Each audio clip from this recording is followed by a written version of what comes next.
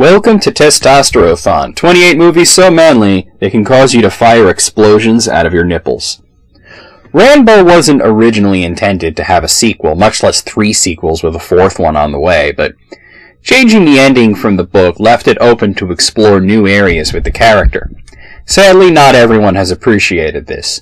Like many people, this was the first movie in the series that I saw, and I appreciate it a great deal for different reasons now than I did when I was younger, but I never once felt that this is a bad movie, even compared to the original First Blood, which is universally praised.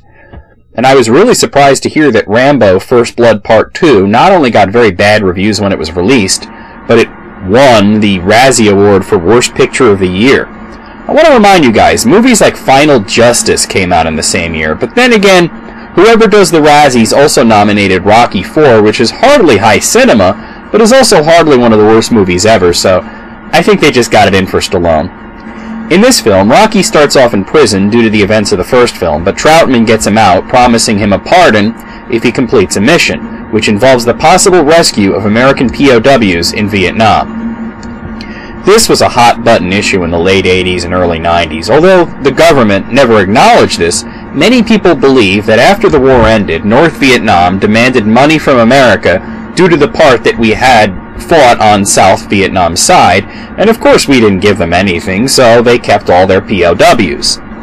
I remember it being a big issue, and there were a lot of petitions for the government to look into all the POWs and MIAs that were possibly in Vietnam, and that's what this movie deals with. They want to send Rambo in to search for possible POWs, but he's told the mission is recon only. He's to photograph POWs if he finds them, and then get extracted out. This goes awry when Rambo's drop goes badly, with the parachute getting caught on the plane, leaving Troutman and his superior Murdock to wonder if Rambo even survived the drop, and if so, can he even complete the mission? It takes Troutman a lot to even convince Murdock to send people to the extraction point to wait for Rambo. Rambo is left without most of the high-tech equipment he was given. He only has his knife and a bow and some arrows. He finds POWs and even rescues one, but is abandoned by Murdock's men at the extraction point and captured and tortured. It turns out that they never expected for him to find anything. They wanted to say, see, we looked, nobody is there, and then sweep the issue under the rug, and any pictures could be lost or destroyed. Rambo actually physically bringing back a POW complicates matters. Rambo manages to escape capture and lead the POW to safety after a long series of action scenes, threatening Murdock that he'll come after him if he doesn't find and rescue the remaining American captives. Looking back, I think the backlash against this film has very little to do with its quality, and I think it's mainly political. People felt like it was a Vietnam revenge story. You know, a lot of people think that the Vietnam War was very unpopular and was widely protested, but really the protesters were on the fringes of society. It was years after the war that the general opinion towards it changed it for the worse. At the end of the film, Rambo states that all he wants is for his country to love him and soldiers like him as much as they love their country. It's patriotic, and well, that's become unpopular in Hollywood.